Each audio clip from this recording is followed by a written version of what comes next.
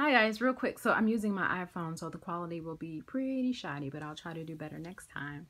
Um, so I have this chest here that I've had about maybe um, 15, 16 years. I don't know. My mother gave it to me when I moved back.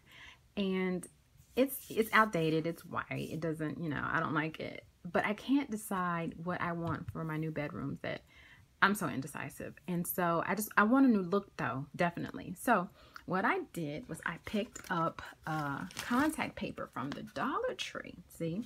And all I did was I peeled the back and then I put it on, on the chest. So here you can see, let me pan out a little bit. It looks, um, to me, it looks like it's really, you know, furnished, like it's really wooden. So um, just an idea and I will show the finished product later.